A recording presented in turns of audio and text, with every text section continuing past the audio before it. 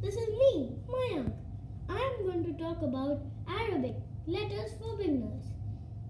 Alif, Ba, Ta, Sa, Jim, Ha, Ha, Dal, Zal, Ra, Zai, Sin, Sin, Sad, Dad, Ta, Za, Ain, Ghain, Fa, Kaf, Kaf, Lam, Mim, Nun, Ha, Waw, Ya. Thank you.